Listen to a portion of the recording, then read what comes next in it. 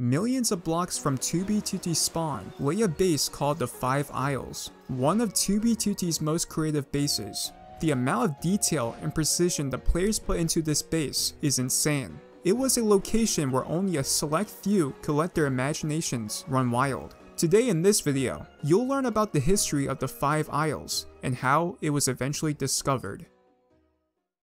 This story begins on July 22, 2020, after the losses of Mu Megabase and Poseidon and the compromisation of Ncursion earlier that year. A player named Crowbar01 eventually stumbled upon a unique location millions of blocks from spawn, where five mushroom islands stood near one another. It was a find too good to be true, and Crowbar knew instantly that this would be a perfect spot to build something truly special. He envisioned a grand castle on each island, each with its own distinct style. However, this location would be put on hold as he was invited to work on a new base, Whitehaven, in early August 2020. Months passed, and Whitehaven flourished, but in May 2021, disaster struck. The base was compromised. Crowbar had always been content to work on his projects alone, but after experiencing the joys of collaboration at Whitehaven, he knew he couldn't return to working alone. So he reached out to some of his closest friends on the server, DarkXL6, underscore Gigo, SMCZ19, Joey Coconut, Turban, and Whalen, and invited them to join him on a grand adventure to the Mushroom Islands. At the heart of the islands was a stash in the nether that provided them with all the materials they needed to build their dream creations. Tunnels stemming from the stash led to portals on the five main islands. As they set to work, each player took up residence on their own respective island, each with its own theme. Eventually, the members settled on these five islands. Amanidia, X-Isle, Celestis, the Atlantic Isle, and Phenomena. When Joey Coconut set out to create Amanidia in September 2021, he knew he wanted to build something unique he had spent months experimenting with different themes, but something clicked once he stumbled upon the idea of a mushroom themed base, and so he dove into his creation, building one mushroom after another. As the months passed, Joey Coconut's creation grew more and more ambitious. In January 2022, he built a tall mushroom tower and double obelisk, and in the following months, he added a giant alien ship, an enormous tree, and a ring of brown mushrooms. May and June were spent building the nine-headed Venus flytrap. The rest of 2022 was spent perfecting the isle, experimenting with building blocks like netherrack and sponges to create mushrooms with different gradients. Dark XL6 built X-Isle. He set out to create a world where ancient and modern worlds collided. He envisioned a long-lost civilization that once thrived on the X-Isle, worshipping a powerful spire that held within it pockets of a rare mineral known as Silenthium. These ancient people believed that by performing rituals, they could awaken the spire and use its power to grow crops bountifully. Modern day adventurers eventually found the X-Isle and uncovered the secrets of the Silenthium and set out to harness its power for their experiments. But as they delved deeper into the island's mysteries, they realized they had unleashed a force beyond their control. The Tesla coil they used to power the substations that reinvigorate the Spire had unexpected consequences, leading to disastrous tests on the Spire, the plants, and the creatures that call the X-Isle home.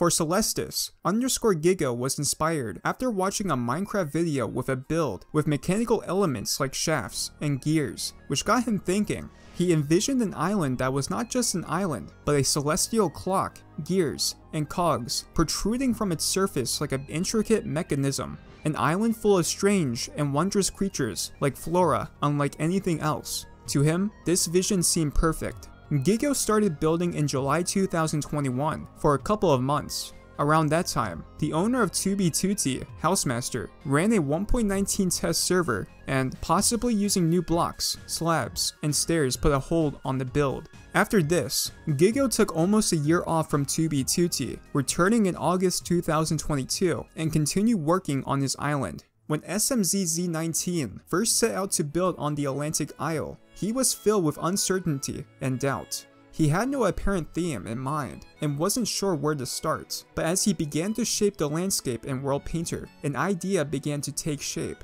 In July 2022, he was inspired by the first towers from Crowbar's Ncursion, and he knew that this was the direction he wanted to explore. He began work on the first two towers and a small gazebo near the sea.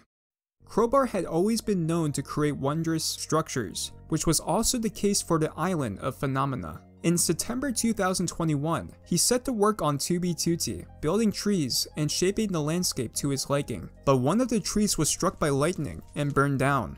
This setback only served to fuel Crowbar's creativity. He knew that if he were going to make Phenomena safe from lightning while maintaining a good look, he would have to think outside the box. And so, he began creating an extensive and detailed sky roof, complete with a black sphere, explosions, and trails to cover the island. By mid-September 2022, Crowbar had completed his main island, but he wasn't done yet. In August 2022, he began building ships entitled the Jolly Anarchist and Queen Anarchy's Revenge, and accompanied them with coral reefs that were the successor to those he made at Poseidon. He spent the rest of the year populating phenomena with various animals and villagers, turning his island into a living and breathing world of wonder and imagination. Crowbar and Joey Coconut built an airship battle between Crowbar's airships and Joey's alien ships through mid to late 2022. Crowbar started the process with one of his airships shooting, which Joey Coconut followed with the construction of an exploding alien ship.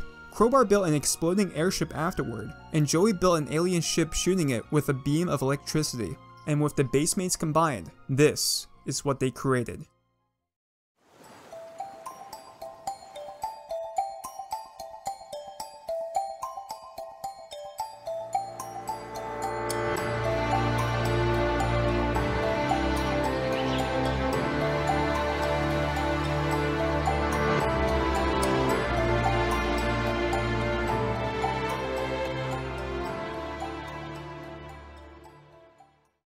There were plans to build many underwater structures, like tubes and tunnels, much more coral, etc. Their goal was to eventually populate the whole ocean floor with small builds around the isles, and more battling ships were to be built as well. However, as is the case with most bases on 2B2T, the Five Isles days were numbered. During a lull in activity at the base, the Five Isles were discovered by a player named 6WJ in mid-December 2022. He was following a boat phase trail millions of blocks from spawn, eventually leading him to the Five Isles. With another player named Key Bison, they were able to steal the base's main stash. After nearly finishing moving the stash, they contacted the base members. Once the base members discovered the stash had been stolen, they became concerned about the security of the base's location. Joey Coconut and Crowbar were forced to self-grief the base on December 16, 2022. On January 8, 2023, Crowbar posted renders created by Turban of the Five Isles on the 2B2T subreddit. Most of the community was amazed at the amount of detail and creativity that was made. Since there were few world downloads taken of the Five Isles, Turban had to stitch together world downloads, which will eventually be added to the archive for everyone to visit. And there's also a world download in the description. Five Isles was more than just a collection of blocks. It was a symphony of ambition, creativity, and the very essence of Minecraft. In a world where 2B2T is often seen as a chaotic hellscape, filled with nothing but PvPers and griefers, it's easy to forget the beauty that can be found on this server. Crowbar is far from finished, and intends to build more bases in the future. From what he told me, another base will be revealed soon.